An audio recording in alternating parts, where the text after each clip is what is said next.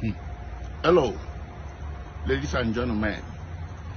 This video is being made from the premises of the DSS in Abuja.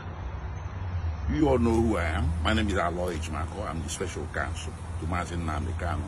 On my right is Barrister Nnaemeka Ejiofor. Behind me is Barrister Patrick Ageze, who came from Enugu. And to my left is Barrister Mandela Umegborogu. All of us, all four of us, came to the premises of DSS to meet with our client today to discuss what happened in court on 24th on the, and on the way forward on his case. But we were not allowed by the DSS to meet with our client. We came by few minutes to 2 p.m. Until now that I'm speaking to you, which is some minutes to 5 p.m., we have not been allowed to meet with our client. So we're just about to leave. And we have our suspicions.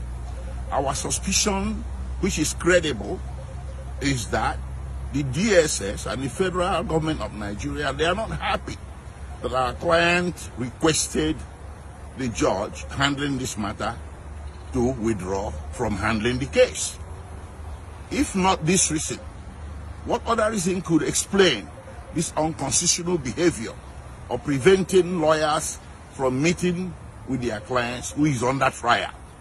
So we need world to know that this thing furthers the what the government of the day or the DSS has been doing that actually complicated the trial of this case that culminated in our client being frustrated and losing confidence in the judge who was handling this case and which resulted on 24th uh, September in our client requesting the judge to withdraw.